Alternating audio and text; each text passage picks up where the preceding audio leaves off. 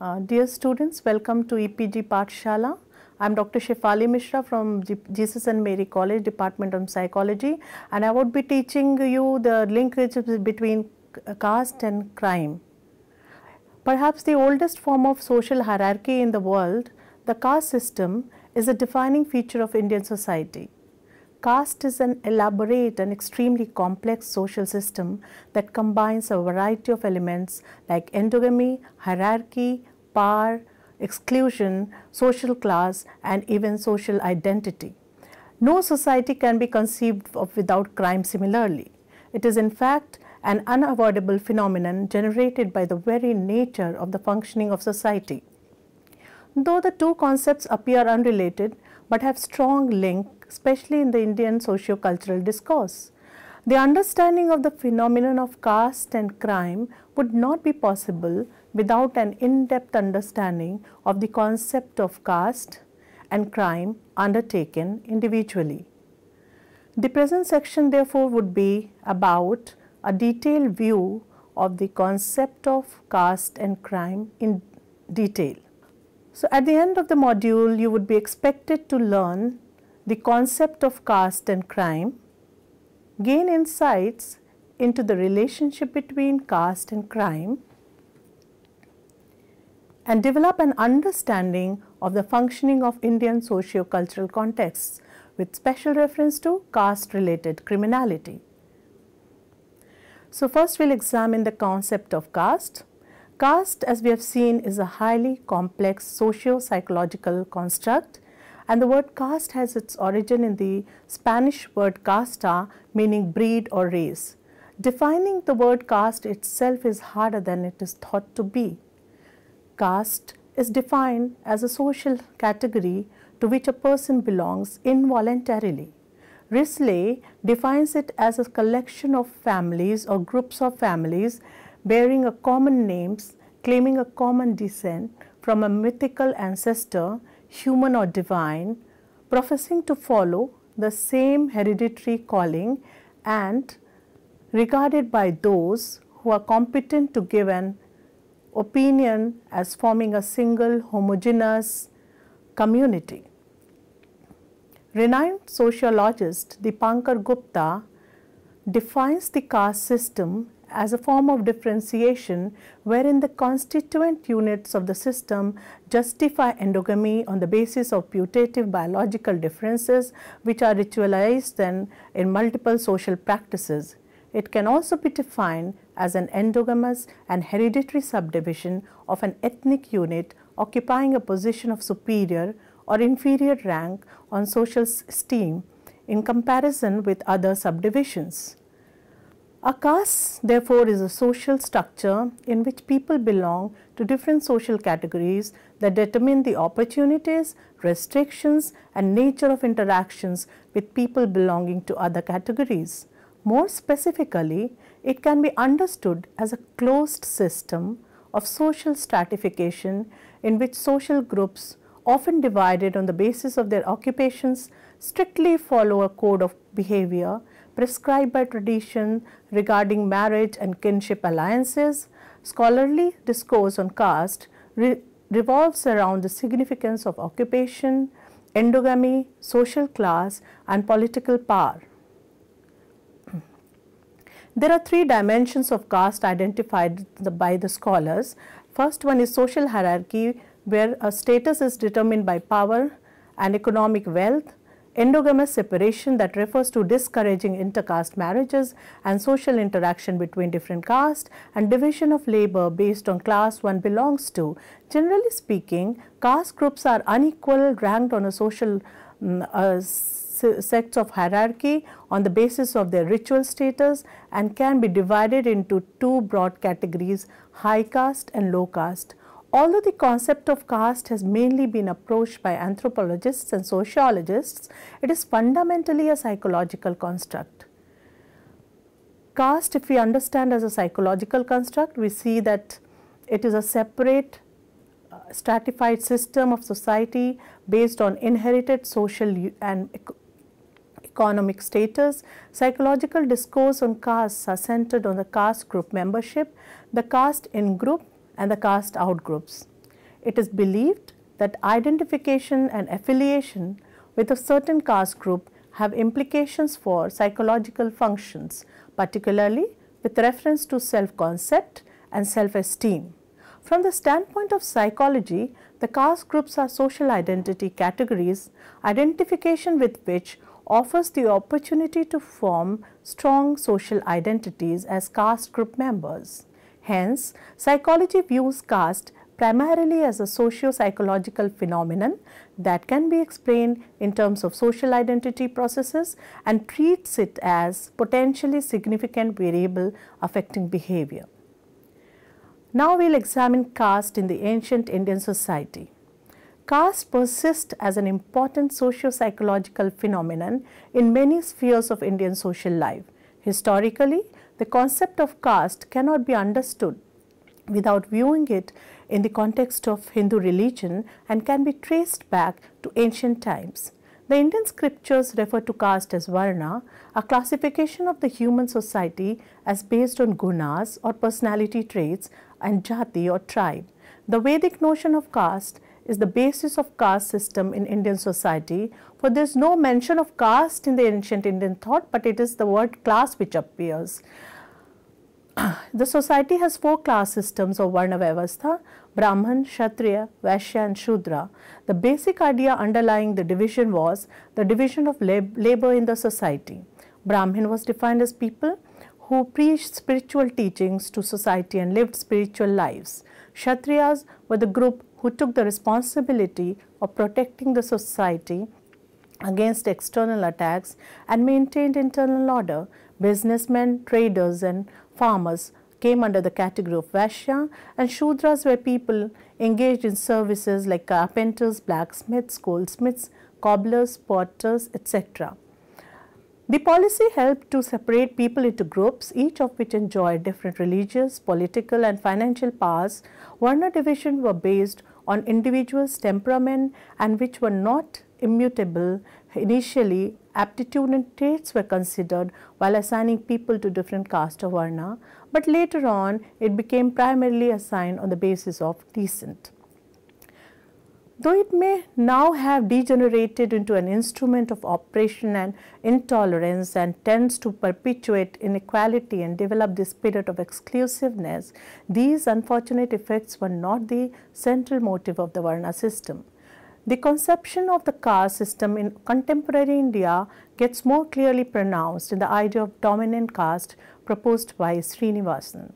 According to him, a caste is dominant when it wields economic or political power and occupies a fairly high position in a hierarchy. Although the idea of the concept of the dominant caste was specific to Srinivasan's study in Rampur village, he asserts the existence of it in the other villages of India too. For instance, in Mysore villages, the dominant caste identified are Lingayat and Okkaliga and Reddy and Kamma are found in Andhra Pradesh. It is to be noted that the nature of dominance is still not disappeared completely nor has it shifted totally in favor of the dominant caste. this is the reason why tension and conflict continue. But what is significant from our point of view is that in many parts of India, there are castes which are put under the category of criminal caste simply because of their descent or occupation. Some of the negative impacts of the caste system are the perpetuation of the practice of untouchability and segregation thereby adversely affecting equality and justice in society. It is thus a threat to social order. Division of society on the basis of caste society leads to conflicts and tensions in between the members of different groups so created which in turn negatively impacts the growth of the nation. Caste division induces a sense of inferiority, complex and deprivation capacity in the lower caste groups. This increases tension and conflict between different groups. Now we will examine the concept of crime. There is no universally accepted definition of crime. In general terms, it can be defined as an unlawful act or offense which is harmful to individual or society and hence punishable by law. Sociology relates crime to deviant behavior but one that is punishable by law. According to Durkheim, crime is an act that offends certain ways strong collective sentiments. Classification of an act as criminal, however, emanated from the moral conscience of the society. Hence, it is subjective.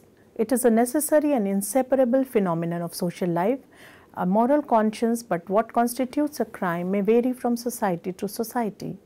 To him, the only common attribute defining crime elsewhere is that it consists of acts that are disapproved by society as they shock the sentiments of the people. Crimes have a vital social functions to serve.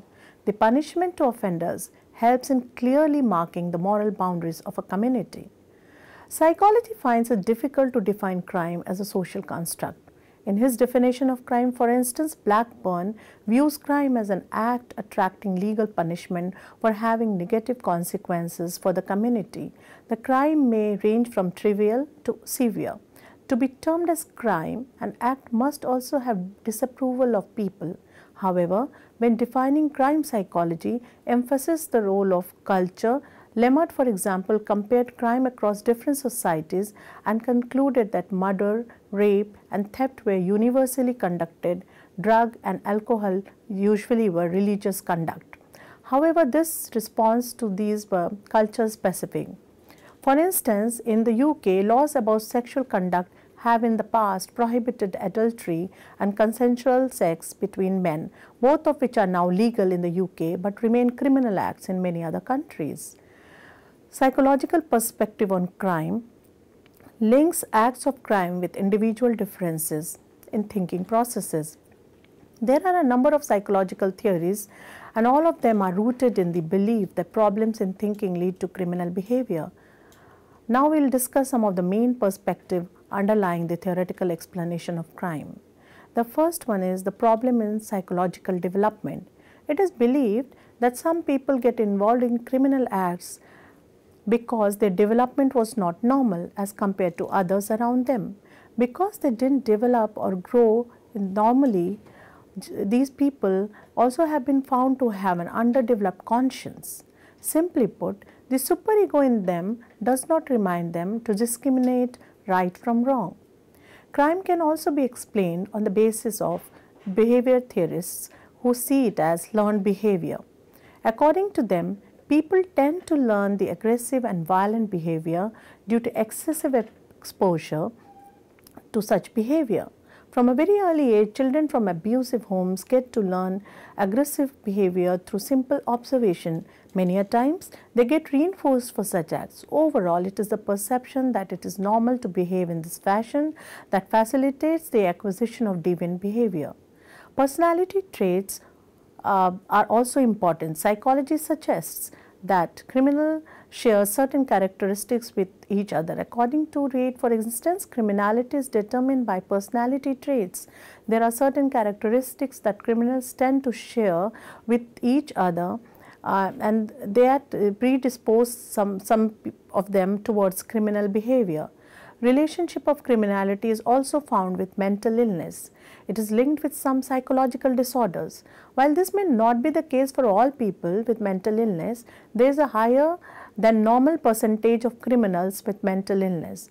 A number of studies have found a positive relationship between mental disorder and criminality or violence.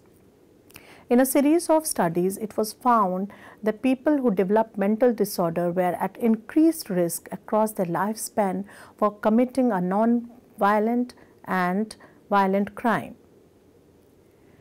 It is important to note, however, that although these studies found an increased relative risk of criminality among persons with MMD, the absolute risk of crime among persons with a psychological disorder is relatively modest.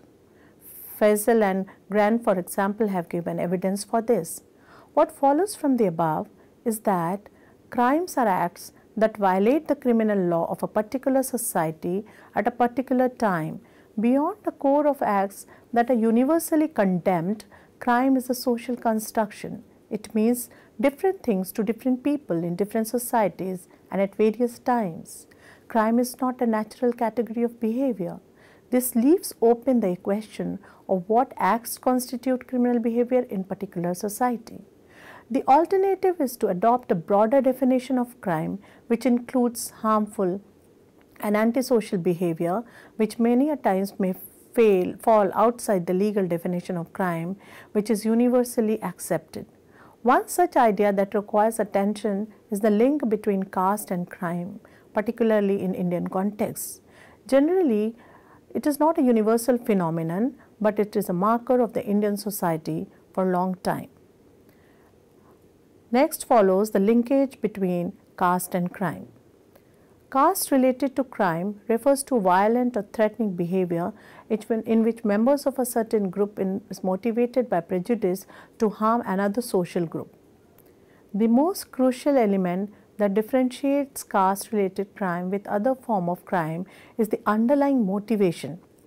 Such crimes are characterized by a deliberate intention to victimize an individual because of his membership in a specific social group.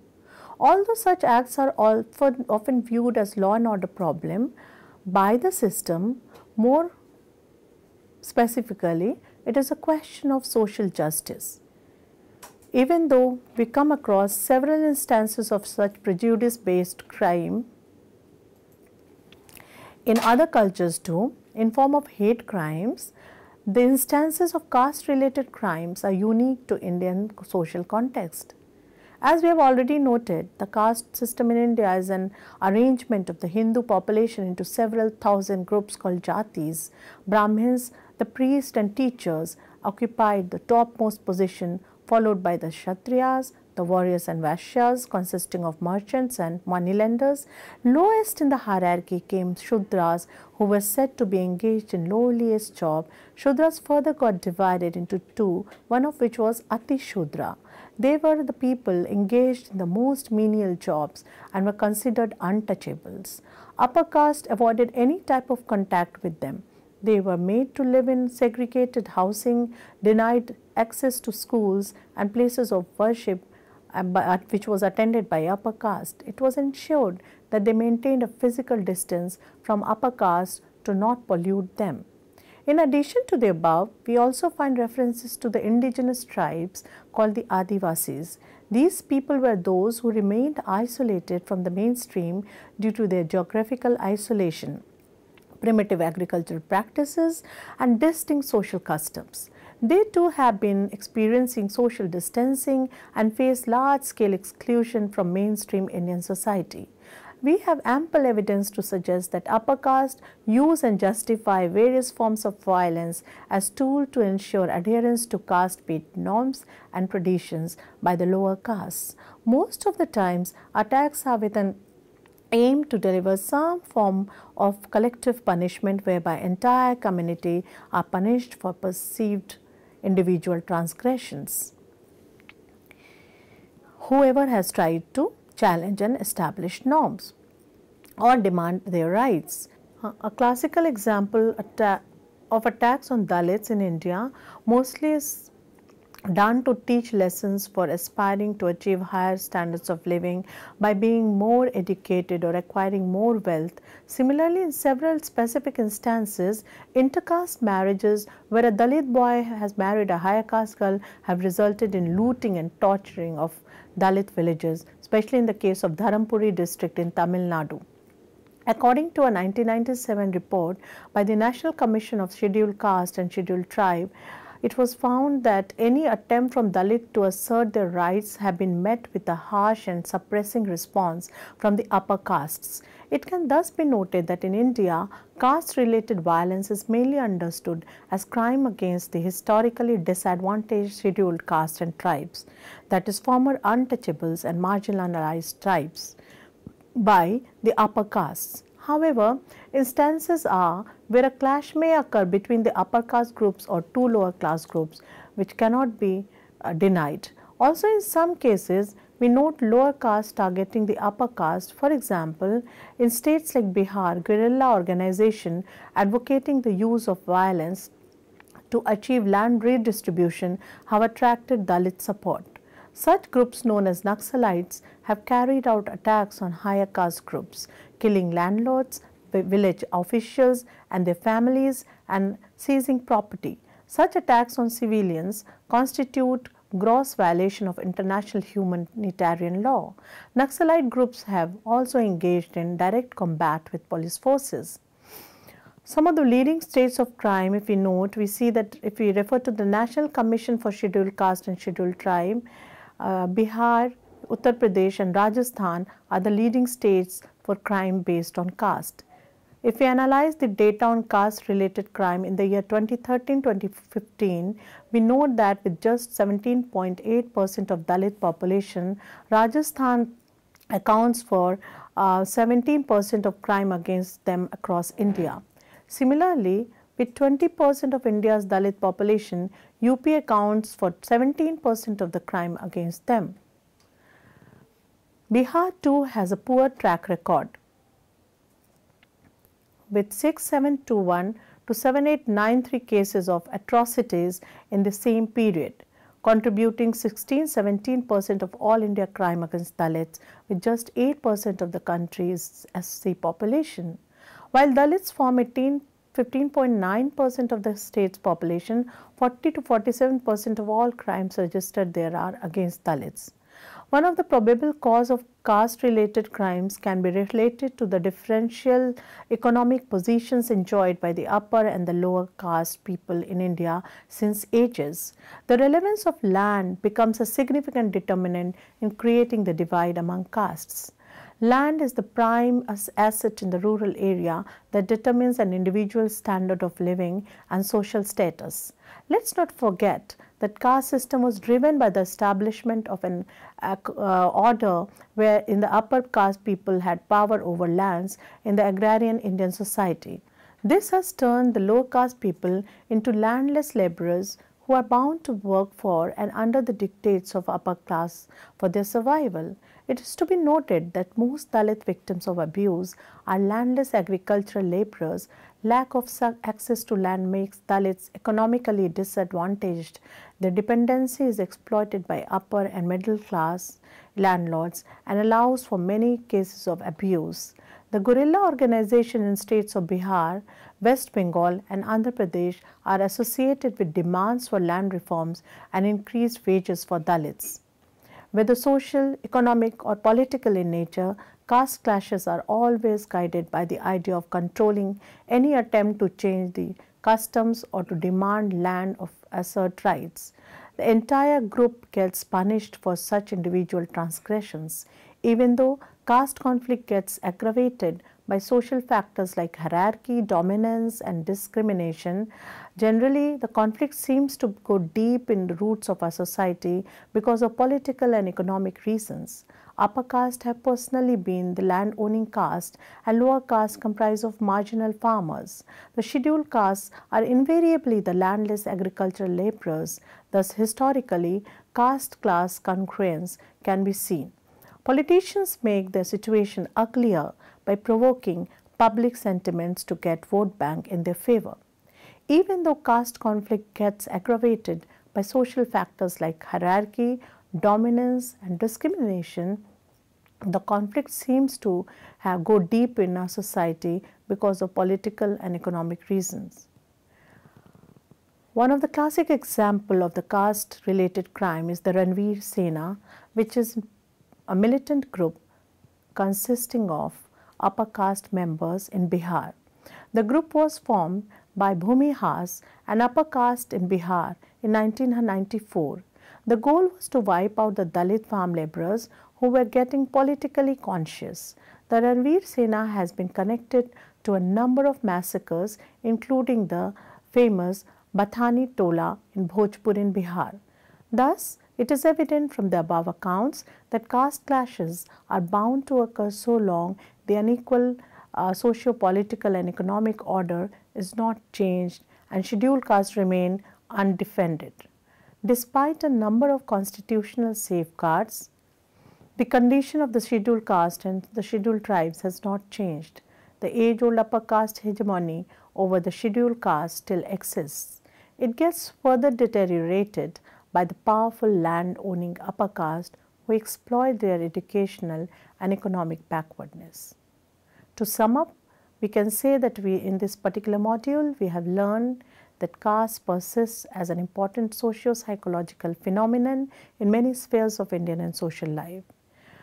Caste related to crime refers to a violent or threatening behavior in which members of a certain group motivated by prejudice harm another social group. Psychology links acts of crime with problems in psychological development, learned behavior, personality traits and mental disorders.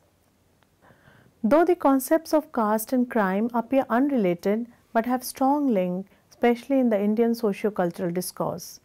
Caste clashes are common in India and are bound to occur so long the unequal socio-political and economic order is not changed. Thank you.